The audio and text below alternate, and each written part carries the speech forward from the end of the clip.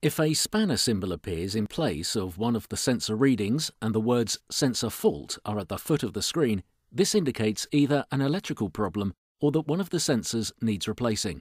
Switch off Marine 4, take off the rubber sleeve and remove the screws from the back of the unit. Turn Marine 4 over and lift off the front. This will reveal the three sensors.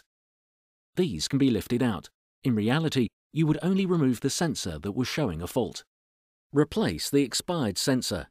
The pins are arranged differently on each sensor, so you cannot install the wrong sensor or install a sensor incorrectly. Then reassemble the unit.